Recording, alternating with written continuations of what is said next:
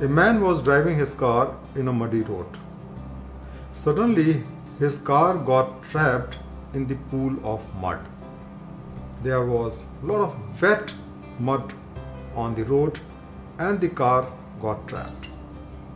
The man tried his best so that his car can get out of that pool of mud, but he did not succeed. He was feeling helpless and looking all around. After some time, he saw that a villager was coming toward him in the bullock cart. He felt relieved. When that villager came over there, he requested him to remove the car by help of his bullocks. The man said, Yes, I can remove it, but my charge will be 100 rupees. The man agreed, he had no option. He agreed to pay 100 rupees to that villager.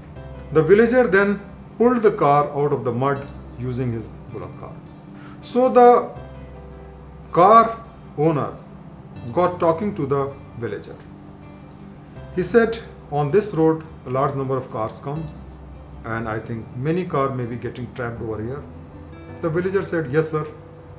You are the seventh person whose car has got trapped here. Then the man said, Oh my god, then you have to remove all these cars. The villager said, Yes, sir. Full day I am removing these cars only. Then the man said, If you are removing the car full day from this mud, when do you do your own work? You must be surely doing your work only in the night.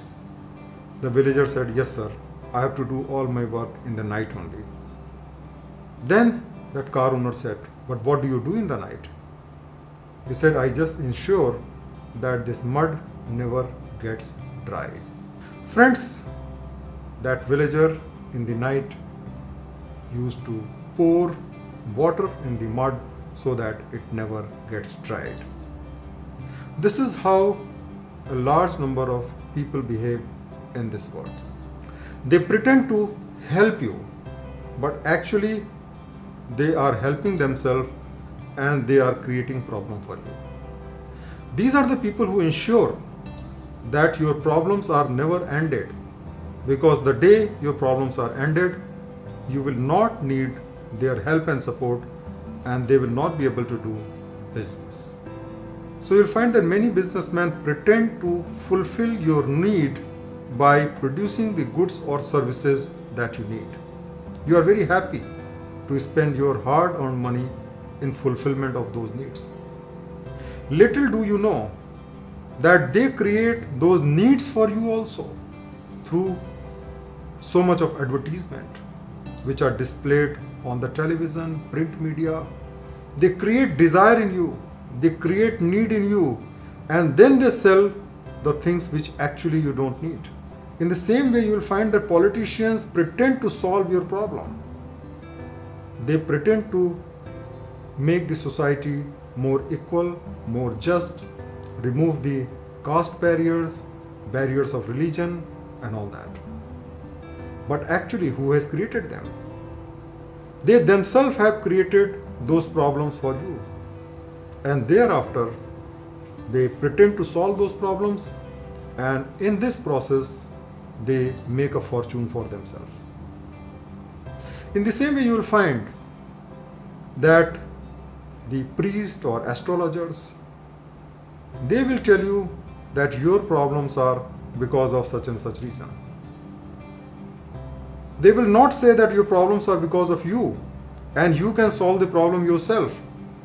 But instead they will find some extraneous reasons and then they will tell you certain rituals which you can perform to get rid of those problems and then you will engage the same astrologer and the same priest to carry out the ritual.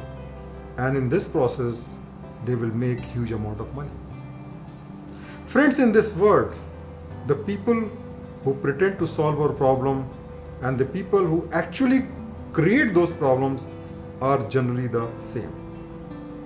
On one side they seems to be our well wisher on the other side they are actually interested in their own interest and they have no interest in solving our problem, but rather they ensure that our problems never ended because when the problem ends, we don't need their help and support, and then they will become useless and worthless. So let us identify such people and also identify the types of problems they are creating for us because once we know what they are doing, once we see them in their true colors, then we can get rid of lots of problem which they are trying to create for us.